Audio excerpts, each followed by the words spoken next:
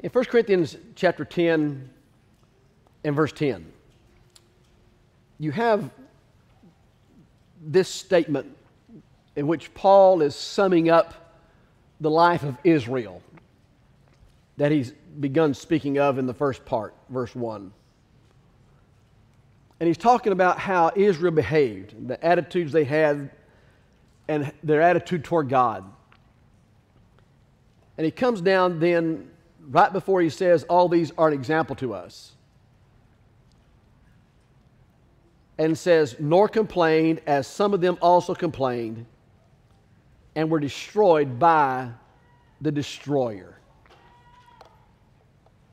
Nor complained, as some of them complained, and were destroyed by the destroyer. As I begin, if you'd like to turn back to Exodus chapter 15, we'll be there in just a moment. Both Old and New Testaments use the word complain. That word is the word for murmur. When you look in a Bible dictionary and you look up the word murmur, it talks about complaining. When you look in Young's Concordance and you look under the word murmur, under that it will give the verses that talk about complaining. So when you hear the word complain, it's more than just griping. It's the word murmur. That word murmur is an interesting word. In fact, say that 10 times real quick, and you get the idea of the word. The idea of a murmur and murmuring is it's sort of a slow, guttural sound that just becomes, with its expression over and over and over again, destructive. The best way I know to describe that for us is have you ever been in a room where the noise was not just really loud, but there was just kind of this whispering, kind of inaudible expression of stuff that was going on. And you had people over here talking, and people over here talking, and people over here talking. Well, that's what murmuring sounds like. It's just kind of a guttural whispering that takes place.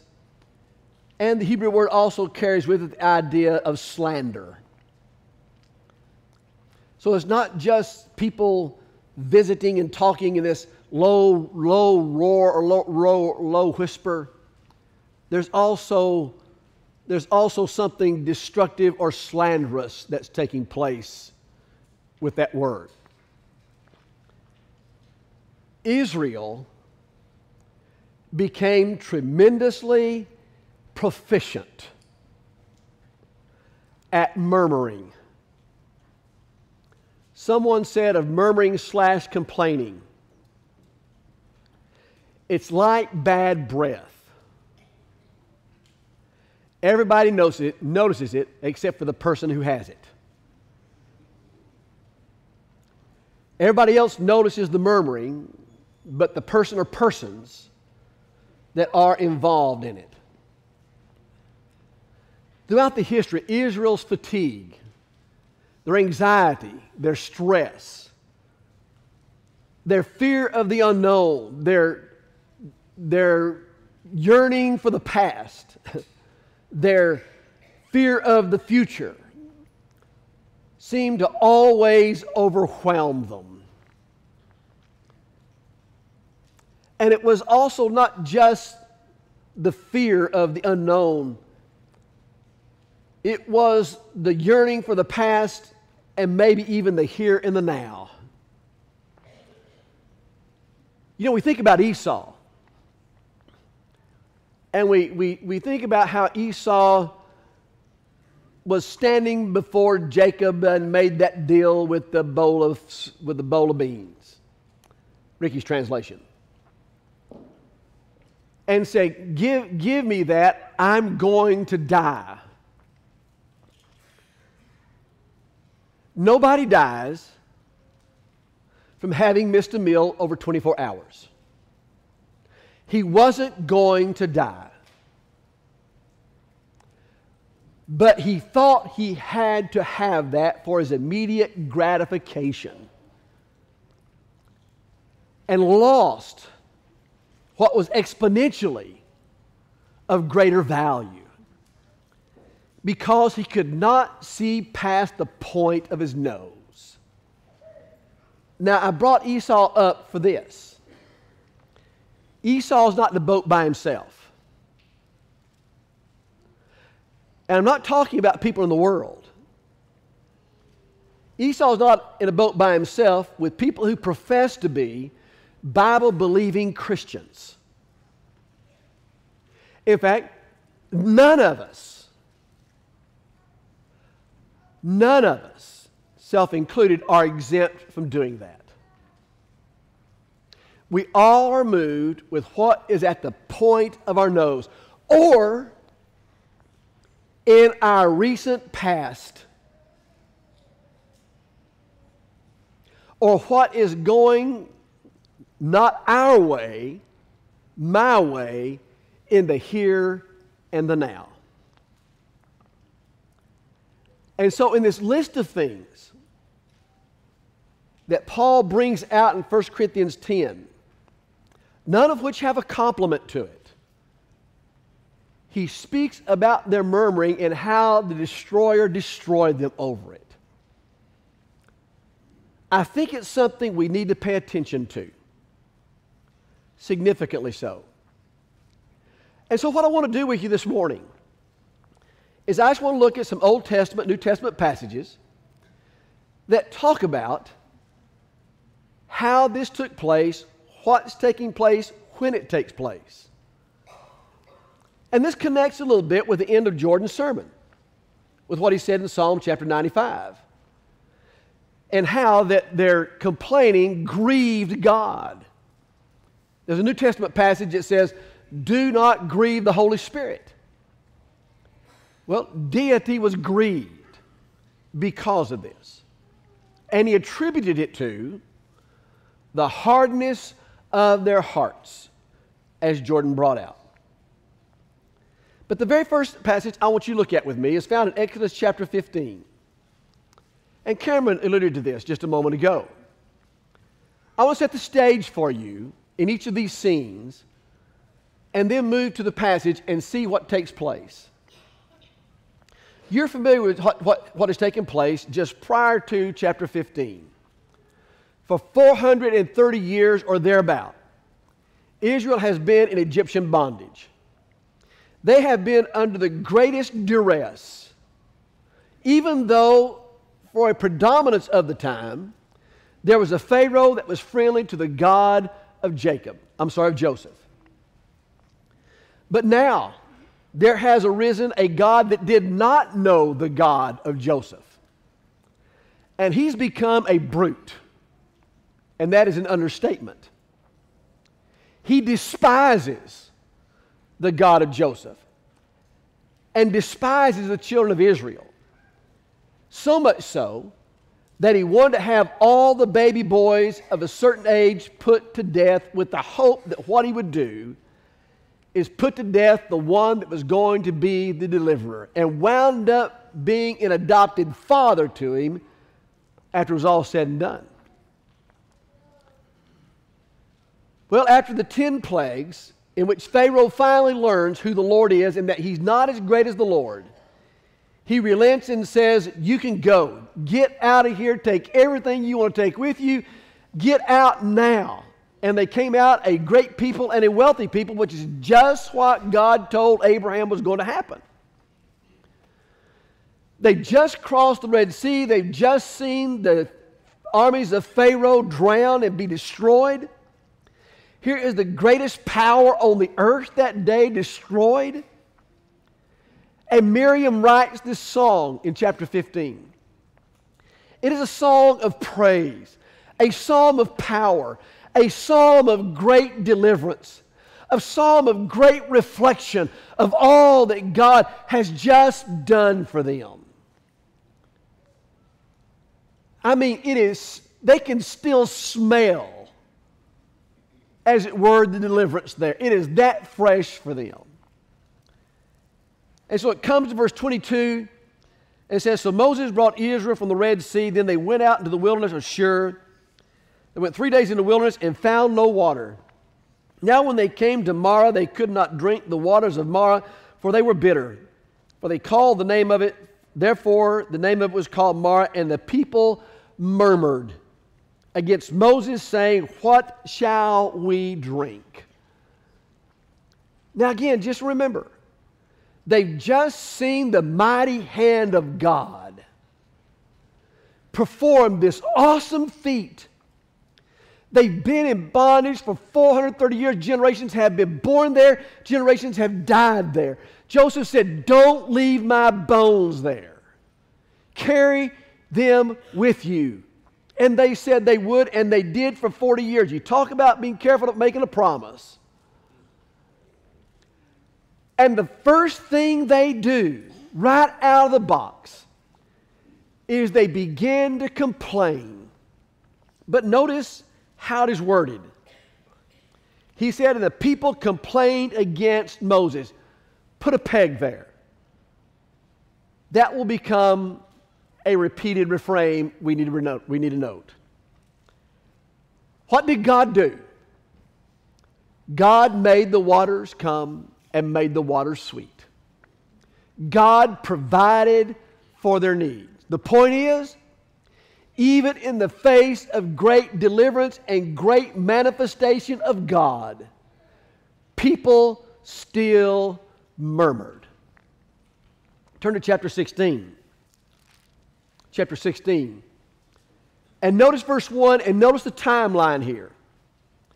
And they journeyed from Elim, and the congregation of the children of Israel came to the wilderness of Sin, which is between Elim and Sinai. On the 15th day, of the second month after they departed from the land of Egypt. Did you notice that? They're in the second month of having departed. Time is measured from the time they departed. In the second month, just in the second month, and the 15th day, if there's 30 days in their months, they're halfway through the second month. It's a month and a half if their calendar's 30 days. A month and a half out they are. And it says, verse 2 the whole congregation of the children of Israel murmured against Moses and Aaron in the wilderness. Put a peg there. And the children of Israel said to them, Oh, that we had died by the hand of the Lord in the land of Egypt. Time out. Pause. Wait a minute. Early in Exodus, it says, The Lord said He heard their cry. What are they crying about? Get us out of here. We're being treated like trash here.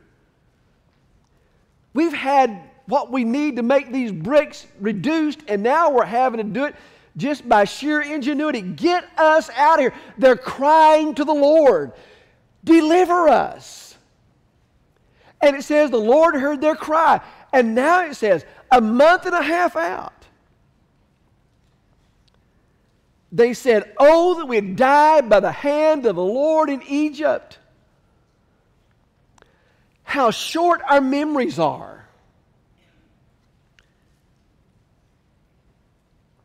Oh, that we died by the hand of the Lord in Egypt when we saw, when we sat by the pots of meat, when we ate the bread to the full. For you brought us out of this wilderness to kill this whole assembly uh, with this hunger.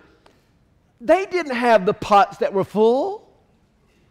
They didn't have the pots filled with meat. Rickie's translation. They may have at best have boiling water with a cut up onion in it. That's what they've got. They didn't have a fatted calf sitting on the spigot turning around over a roasted open, open fire. Those people, you talk about root hog and die poor, they're just root hog. Die poor would have been a compliment to them. And this is how they remember it. They're not alone in remembering the past more fondly than is the present and the future. Do we do that? We glory in the past. And the past is never as painful as it was in the present as when it was going on. But continue. Then the Lord said to Moses, Behold, I will rain bread from heaven, and the people shall go out and gather a certain quota every day, that I may test them whether they will keep my law. Verse 6 And Moses said, Moses and Aaron said to the children of Israel, At evening you shall know the Lord has brought you out of the land of Egypt. Duh! Did you not know he did it when he delivered you with the Egyptians here? Do you see this human story taking place?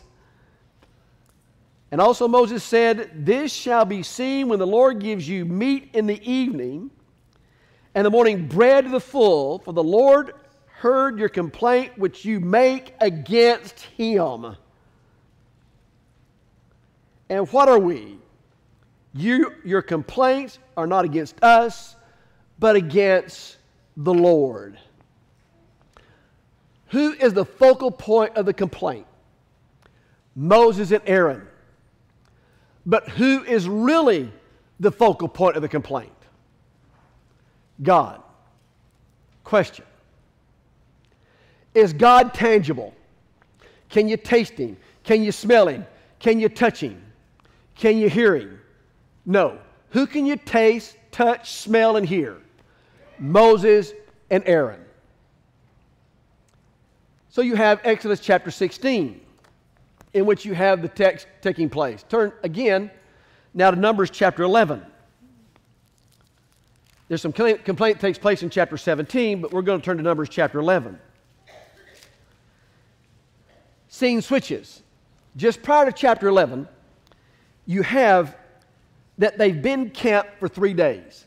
Now, in Deuteronomy chapter 1, it says they were eight days' journey from the promised land.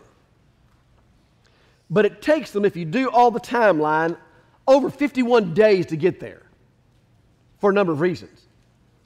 And this is one of the reasons. They've just been stalled. They've just been stalled for about three days. You, you go back to, to verse 31 in chapter 10. So Moses said, Please do not leave, inasmuch as much as you know how we are to camp in the wilderness, and you can be our eyes, and it shall be that we'll go with you indeed, that whatever God the Lord will do to us, the same will do to you. So they departed from the mountain on a journey on three days, and they then come to the Lord and went before for three days' journey to search out a resting place for them. So they've been waiting for three days for a resting place. They move. And you come to verse 1 of chapter 11. Now, when the Lord, when the people complained, it displeased the Lord, for the Lord heard it, and his anger was aroused against them. And the fire of the Lord burned among them and consumed some in the outskirts of the camp. This more than any gives uh, this is our first look. How does God regard this? Notice here it clearly, clearly says the people complained against the Lord here. Moses gets a break this time.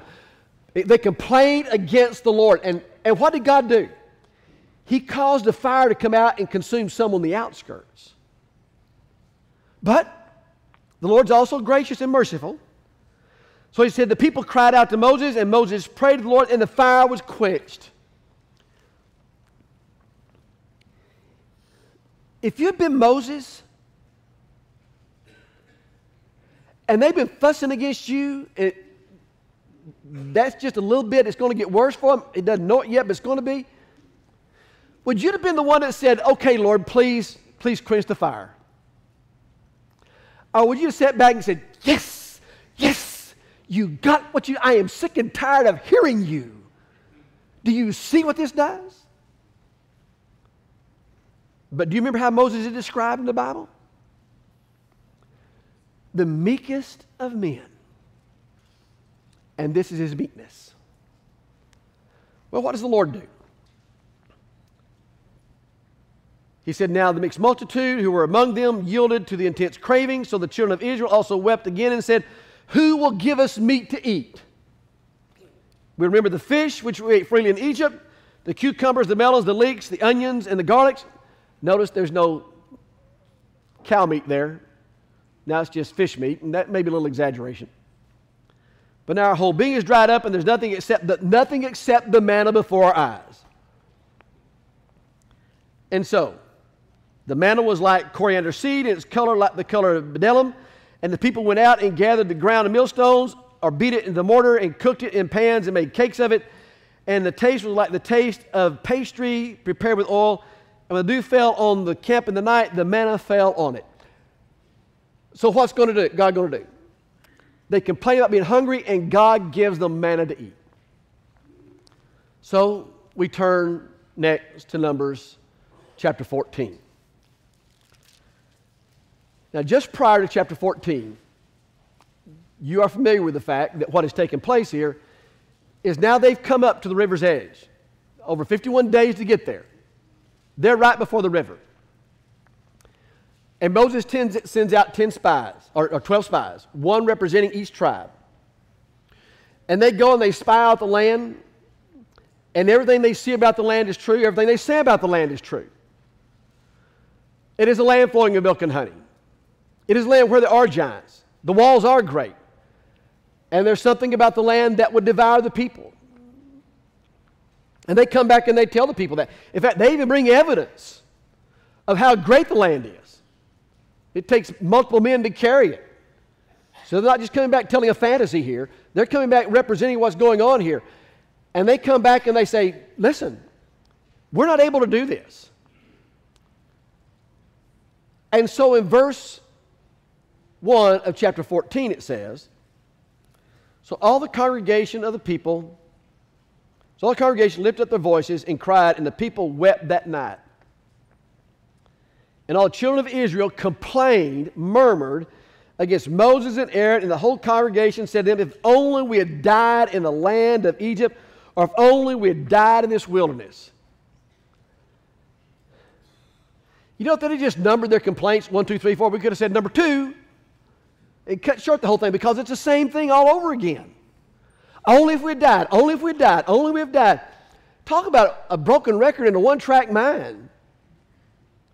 And so it says in verse 3 Why has the Lord brought us to this land to fall by the sword, that our wives and children should become victims? Would it not be better for us to be victims uh, to return to Egypt? Again, longing for the past, exaggerating what's taken place, not content with what God's provided for them at this point.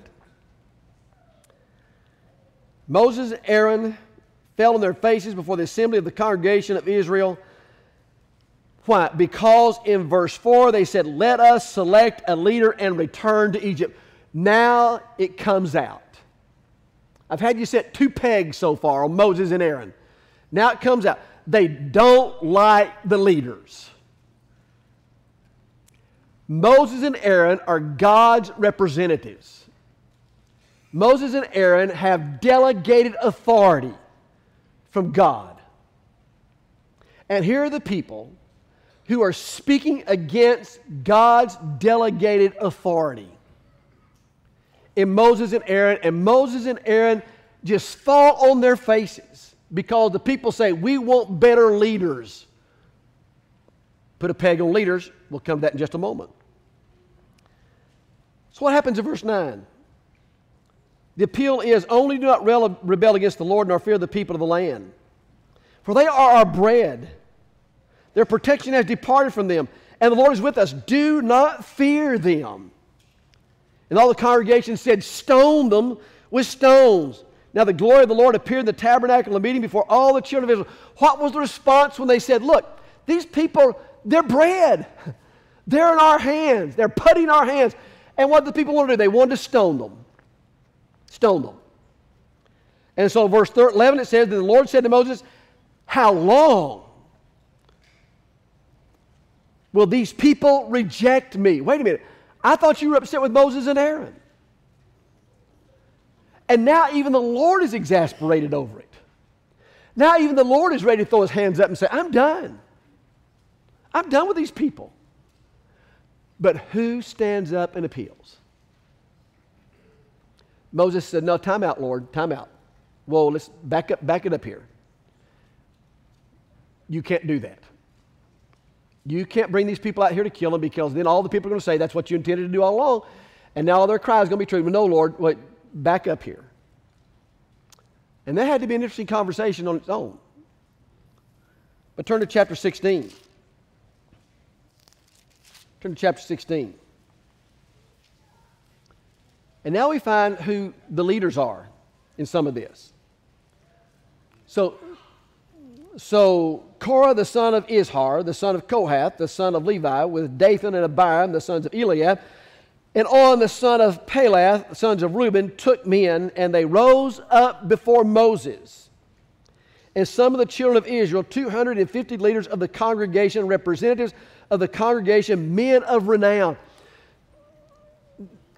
Now, the, the men that rise up, these aren't nobodies. These are men everybody knows. And now it's not just Dathan, Abiram, and On. Now they have influenced 250 people in the congregation to rise up with them. And so, what's their complaint? They gathered together against Moses and Aaron and said to them, You take too much upon yourselves, for all the congregation is holy, every one of them, and the Lord is among, among us, and the Lord is among them. Why then do you exalt yourselves above the assembly of the Lord? So when Moses heard it, he fell on his face and spoke to Korah and all the people of the company and say, Tomorrow we're going to find out who the leaders are. God's going to let us know. And he tells them how that's going to take place. Now they're not complaining about the food. Now they're not complaining about the water. Now they're not complaining about how long they've been in the desert. Now it comes out what they're really upset about is they're upset about Moses and Aaron being in the place they're in and said, Look, you guys, this has gone to your head and we're sick and tired of you. We want new leaders. You take too much on yourself. You have exerted too much of yourself upon other people. So, you turn to verse 11. It says, Therefore, you and all your company are gathered together, notice, against the Lord. And what is Aaron that you should complain against him? They were complaining against Moses and Aaron. They're murmuring against God. And then verse 12 says, Moses sent, sent, Moses sent to call Dathan and Abiram, the sons of Eliab, but they said, We will not come. Basically, is you're not telling us what to do. No, we're not coming. You're not telling us what to do. Is it a small thing that you have brought us up out of the land flowing with milk and honey to kill us in the wilderness that you should keep acting like a prince over us? You're not telling us what to do. God didn't die and make you God. Who made you a prince? No, we're not doing it. We're not coming. We're going to do what we want to do. Then it says, verse 14, Moreover, you have not brought us into land flowing with milk and honey, nor given us an inheritance of the fields and vineyards. Will you put out the eyes of these men? We will not come up. We know why you want us to come up. And so then it says, Then Moses was very angry and said the Lord, Do not respect their offering. I have taken one donkey from them, nor I have not taken one donkey from them, nor have I hurt one of them. And Moses said to Korah, Tomorrow you and all your company present before the Lord, you shall be there and you're going to find out who the leaders are. And guess what? They found out. Because when you come to verse 29, it says, If these men die naturally, then all, like all men, or if they are visited by the common fate of all men, then the Lord has not sent me. But the Lord creates a new thing and opens its mouth that swallows them up with all that belongs to them and they go down alive into the pit, then they will understand that these men have rejected the Lord.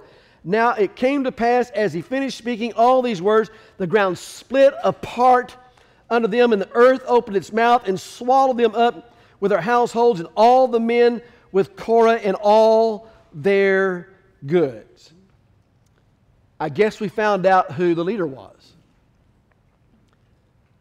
The earth opens up and swallows them and all their household. Would you not think that after that, the people would say, listen, we got to zip it. this complaining about what God's given us, this complaining about Moses and Aaron, this complaining about not having enough, this complaining about the water, this complaining about the, the flesh pots of Egypt that were really not flesh pots, that were not so great, and Egypt was not so great. We, we got to zip it. Look at where this, look at what day, happened to Dathan and Abiram and all those that were with them. Earth opened up and swallowed them. Great. End of story. What a nice ending. Finally, the people get it. But verse 41 says, On the next day, all the congregation of Israel complained against Moses and Aaron and said, You have killed the people of the Lord. And it says, verse 49 Now those who died in the plague that were sent because of that were 14,700, beside those who died with Korah. 14,700, the 250 men, Korah and all their family, die because of their murmuring and their complaining against the Lord. God had provided everything for them, given them men to lead them who cared deeply for them, who were sacrificing personally for them. All they can do is exaggerate their circumstances. They can't stop for one minute and seem to appreciate all that God is doing and all that Moses and Aaron. And the fact is, he said, and make it me, not Aaron. Aaron's here because I made an excuse to God to begin with. Isn't it interesting? Moses does a lot of talking after he says he can't talk. Aaron's here because of me to begin with. And why are you doing this with Aaron? But they complain against God. And then we come to Numbers chapter 17. In verse 5, it says, It shall be that the rod, the man whom I choose, will blossom, and I will rid myself of the complaints of the children of Israel, which they have made against you. And in verse 20, he says, uh, if you turn to verse 20 in chapter 17, you're going to be, going to be uh, not going to be there. That was a typo on my part. So it then says in verse 9, Then Moses brought all the rods before the Lord to all the children of Israel, and they looked, and each man took his rod and the Lord said to Moses, being Bring Aaron's rod back before the testimony be kept, a sign against the rebels, that you may put their complaints from me. Moses, bring your rods. I'm going to be done with the complaints. Now, I want you to just pause for a moment before we go to the New Testament and look at a couple of things. I want you to just pause a moment. I put the passages up there like that because I wanted you to see the passages. I want you to see the weight of those passages.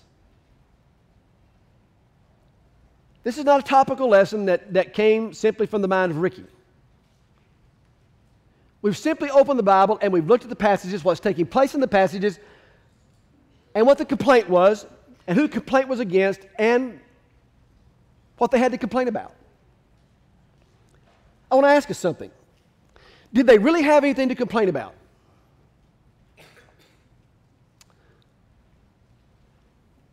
Did God ever leave them alone?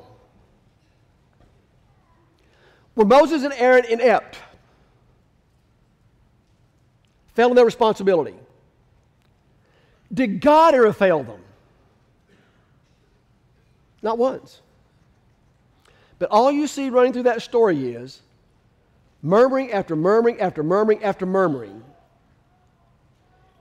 People who do it, people who influence others to do it, and people who lead others to do it, and others follow the murmuring and the complaining.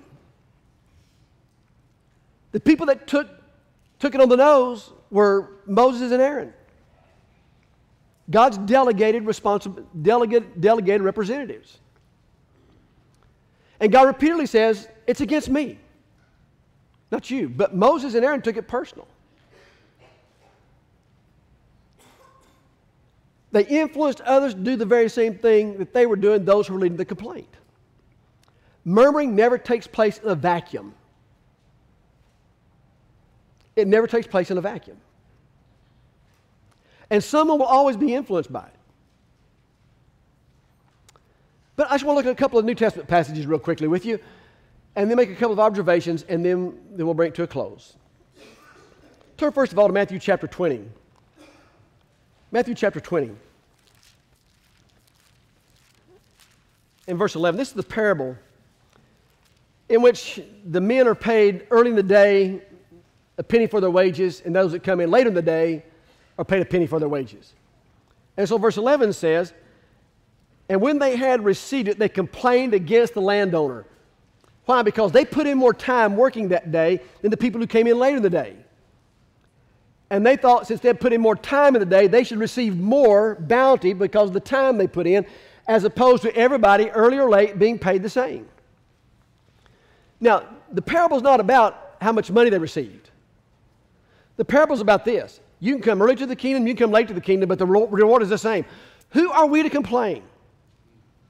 Who we to complain that here someone comes to the kingdom and they die the next day, and here's someone that's come to the kingdom and they serve the Lord for 70 years, they get the same reward?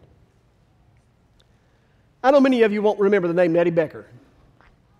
And you may not remember the name Gladys Fight. Years ago, Gladys Fight was a member here. Gladys lived in South Dallas in an apartment complex that Nettie Becker owned. And Nettie Becker never raised her rent after all the years that Nettie that she let Gladys live in her apartments. Several of you went down south to pick up Gladys. You got to hear the stories about her life growing up and everything. Well, Gladys worked and worked and worked and worked on Nettie.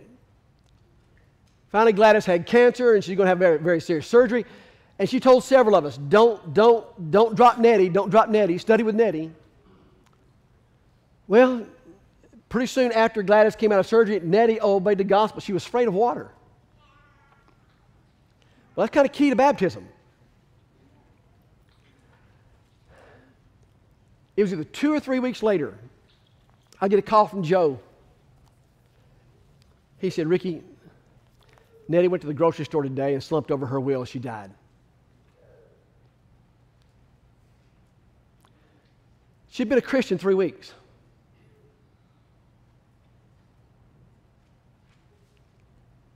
How long have you been serving the Lord? Now, you're you going to complain against God when you get there that Nettie gets the same thing you got? That's what happened in verse 11.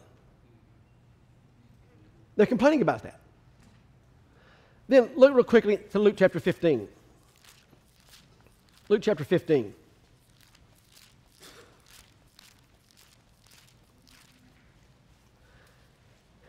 And look at verse 2.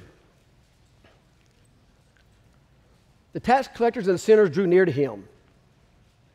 And the Pharisees and scribes complained, saying, This man receives sinners and eats with them. They're murmuring because he's eating with sinners. Here's the one who came to seek and save the lost, and they're murmuring because he's eating with sinners. The only thing these Pharisees can do is murmur because he's eating with sinners. You get that? He's eating with sinners, and the Pharisees are fussing about it. They're murmuring about it. You just see a pocket of them over They're just chewing him up, having him for dinner. They're just murmuring about it over here. You see that? He's eating with sinners. He's eating with sinners. He's eating with sinners. Oh, no. Stop the earth. They're complaining because he's going to, oh, try to save somebody. But the righteous don't need a physician, right? And they were sicker than they thought. And then turn to Philippians chapter 2. Our last passage we'll note this morning. Or I'm going to skip John 6. Turn to Philippians chapter 2. John 6 is about the bread. They're fussing about the bread because they want more bread and they're not happy with the bread Jesus gave them. And that's the short of John 6.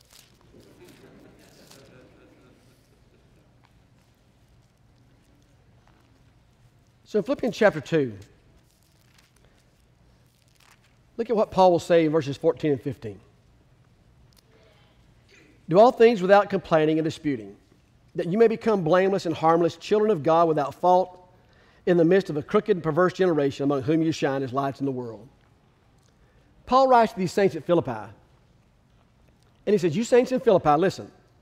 Do all things without complaining and disputing, that you may become blameless, harmless, children of God without fault in the midst of a crooked, perverse generation in this world.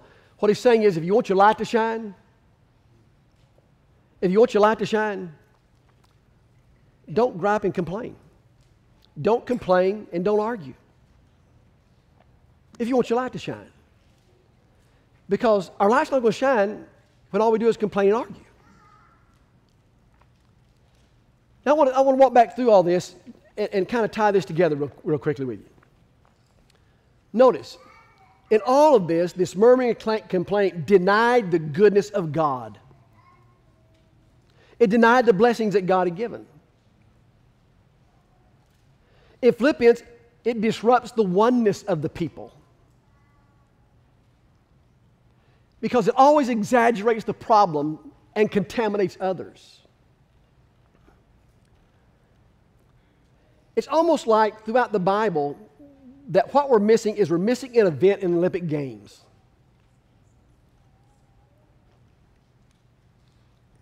I'm just waiting for somebody to say, I got the silver medal in the Olympics in the whining competition. Because that's what's missing. Israel got the gold medal. They made wrong decisions and led wrong directions because they had wrong conclusions.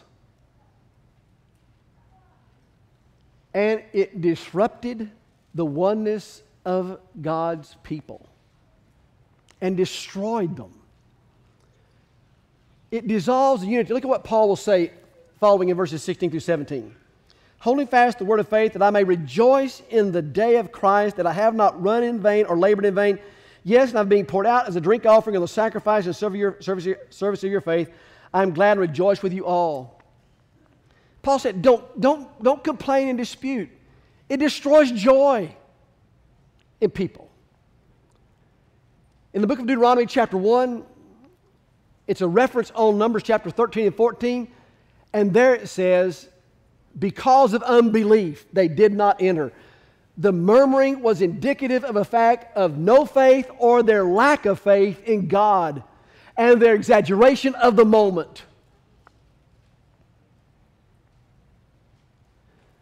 Now, let's bring this home for us because we've been talking about Israel, we've been talking about New Testament, New Testament stuff.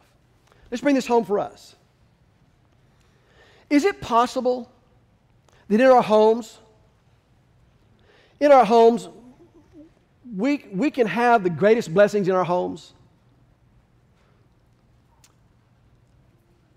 And all we do is fuss and complain about it because we don't have more or don't have what we think we ought to have? Is it possible that there's a father in the home that is God's delegated representative as head of the family? That he becomes the meal? because he's the one chewed up? How did God feel about that when it was Dathan, Abiram, and On and the 14,700? How did God feel about that? Is it possible in this local church that we have, have shepherds like Joe and Breck, James, Terry, and Rick, that have dedicated themselves to sacrificing their lives for the oversight and the shepherding of this flock and giving themselves for it that put a little salt and pepper on it, they become the Sunday dinner? How did God feel about that? God's delegated representatives in the church, delegated authority. How did God feel about that? How did he feel about it with Dathan and Abiram On and the 250 that were with them? How did he feel about that? Is it possible that we can have a congregation of people that is rich in talent and rich in resources?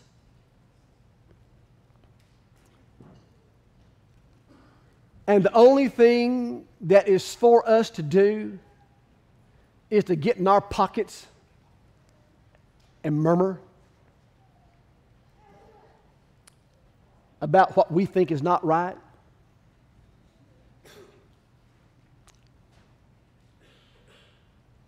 How did God feel about that? How did God feel about that? How did he feel about the nation of Israel when they did that? How did God feel about murmuring and complaining? I did, it's not my opinion. I, I didn't, I, this is not from the book of Rickie. I gave you the passages. It's straight out of the book. Now, we'll pay attention to he that believeth and is baptized shall be saved. We, if we try to sprinkle somebody, there's going to be an uproar. If we try to roll an instrument down the aisle, there's going to be an uproar. Well, why aren't those passages just as important as baptism and a cappella singing? Because it condemns some people. There's some people who lost their lives over it. So, what can we do? Let's not in there. What can we do? First of all, because we spend more time thinking about God, we can spend more time thanking God. It's going to be hard to be filled with disputing and complaining. What, what I'm doing is I'm thanking God and appreciating all that God has given. If, if Israel just stopped to say, get on their knees and said, God, thank you for delivering us. Egypt was a madhouse. We were abusive, and we know, we know we're a little thirsty here, we're a little hungry here, but God, we know you'll provide for us. And we've got this congregation of people that have such rich talents and rich opportunities that are before us. And what we do is we thank God because this is my church. As Jordan said a few weeks ago, this is my church. I'm proud of my church. Let me tell you about the good in my church. Let me tell you what so and so does that you may not know. Let me tell you what so and so does that you don't know. Let me tell you about my church. Is it possible we can spend more time filled thinking about people that are God's people in this church with gratitude rather than finding fault? Second, not only be filled with gratitude, but have a 40 day complaint fast. A 40 day complaint fast. Why did I say 40? I had to have a number. A 40 day complaint fast. I hate this Dallas traffic, but I have a car I get to drive in.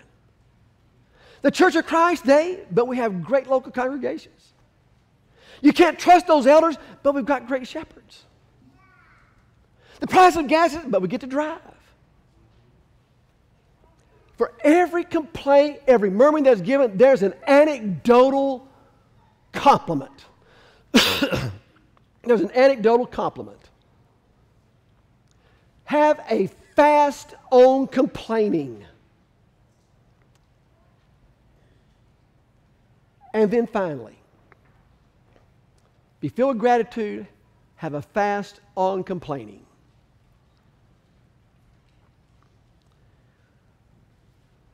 Open our eyes to the endless blessings and possibilities that lie before us. Address what needs to be addressed. You know what? Sometimes fathers and husbands are wrong. Sometimes fathers and husbands are not what they ought to be. And you know what? Sometimes elders are not, not what they ought to be. Sometimes elders are wrong. And you know what? Sometimes local churches are not, not what they ought to be. Sometimes local churches are wrong. We're not talking about uh, hiding the truth here. Speak the truth. Speak the truth, but come with a solution. Don't just speak the truth, come with a solution.